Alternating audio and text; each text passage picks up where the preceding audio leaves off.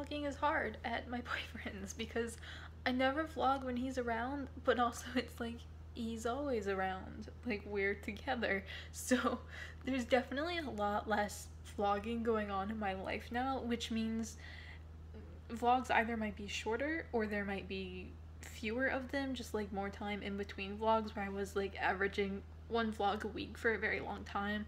Now it might be like one every two weeks, or I might just post like eight minute vlogs or something. I don't know. Or I might just like manufacture content for my vlog my vlogs, which you know might happen.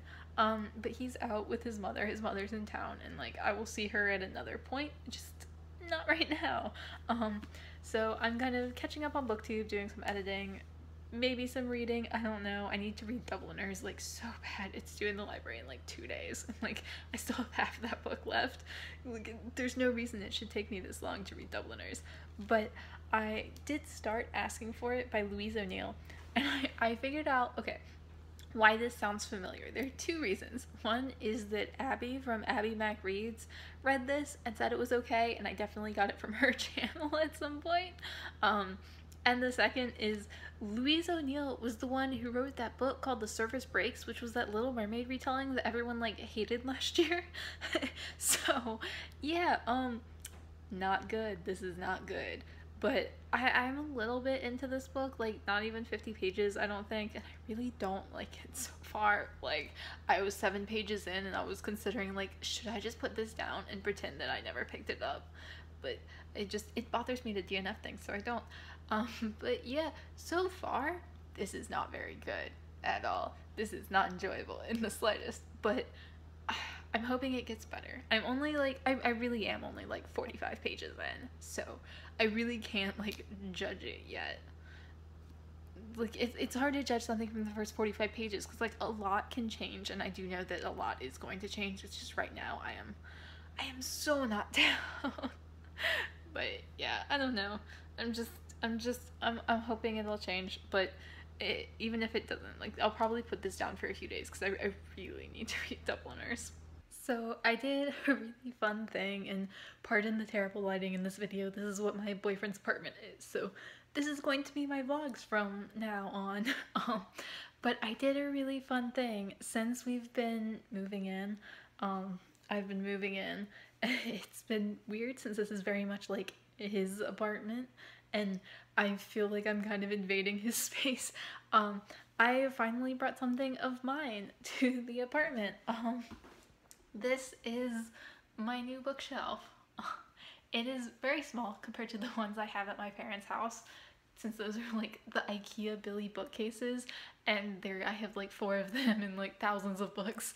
Um, this I have 50 books and yeah, like there's literally 50 books on it and it's mostly just like my TBR books and just like things I'm planning to read over the next little while, but like it makes me so happy. Like there's something of mine in this apartment now, you know, like it's not just like me invading his space, but like it's starting to become my space too. And I don't know, it makes me very happy. But um yeah, these are basically like not everything I'll be reading. Like there's some more books I have to get from home and like I have some books I need to get from the library and stuff, but like these are mostly unread and then some rereads and just like what I'm planning to read. Like, uh, I'll show you guys if I can. Um, like I have thrillers up here and then like Agatha Christie and some uh, The Lord of the Rings, Ellen Emerson White, Faulkner, um, then like trade paperbacks. These this is all done by size by the way because um, it's it's a stable bookshelf, but like it doesn't feel the top shelves don't feel very sturdy. So like lighter books on the top. Um, but like yeah, like the books that I hauled recently, um, the Cassandra Clare books, Long May She Reign, which I need to reread. Um, and then like Water for Elephants, just the books that I've hauled, random stuff. Um, and then if you go down, it's like hardbacks and stuff and bigger trade paperbacks. I'm sorry it's really dark, but the lighting is just terrible. But yeah, just like books I have for projects and like some books down here that didn't fit anywhere else. Um, but I'm super excited. Like it's it's so much fun that I have a bookcase here and like we're planning to get more. Like I'll have at least like one more small one, which is kind of important. So like I'll, I will have like more books, but it, it really does just like it it makes a big difference to just have like that one bookcase here with like my books. And like he has a bookshelf over there so it's not like eh, there were no books here. And it's not like I didn't have my books here. They were just stacked places. It just like it makes me so happy to have like a shelf for them now. Um but yeah I just wanted to show you guys that. I was I thought about showing when I was putting it up but I was literally just like stacking a couple of books on it so it was not going to be a very long or involved video. It's already like put together and stuff. I just carried it in and dumped books on it. So yeah, I don't know. I, I'm, I'm really happy though. Let's go home. The next couple of days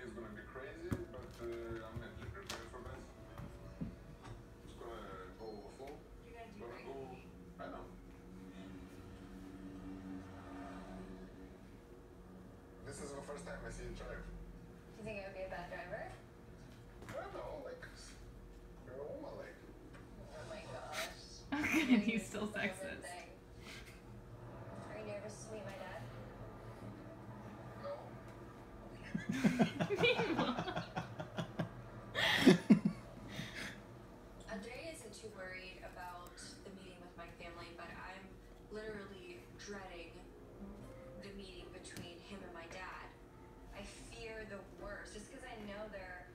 Personalities. They will just like start arguing.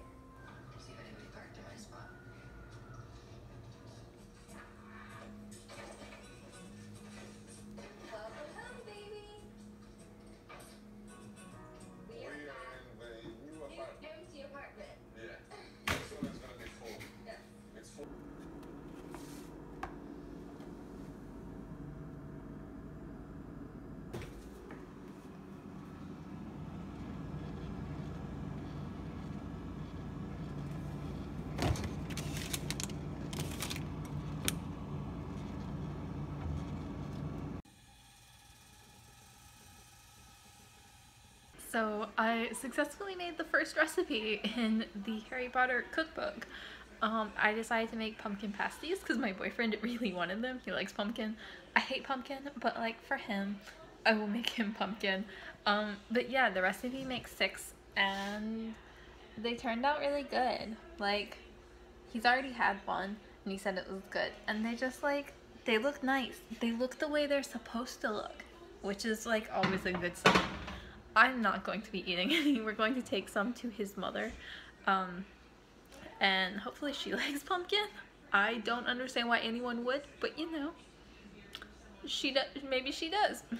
He certainly does. Um, we got a big can of pumpkin, so I'll probably make these again like tomorrow or Sunday. Like sometime in the next few days, I'll probably make a second batch, and like I might take some to my parents because I'm seeing my parents next week for my birthday. So I might do that, but the entire apartment smells like pumpkin and it's really disgusting because I hate pumpkin. But that was a good that was a good first recipe and maybe we can make um pumpkin juice since we have the pumpkin. like why not? Um he wants to make pumpkin juice too. I do not appreciate all the pumpkin flavored things, but there are a number of them in the Harry Potter cookbook. Um, I also didn't go exactly by the recipe. The recipe calls for a mix of butter and shortening in the in the dough, and I used vegan butter and not no shortening at all. So hopefully the the crust looks flaky and fine, but it definitely was like softer when I was working with it than it should have been because it has a lower melting point. But I don't know, they look good, and I feel like I succeeded in something.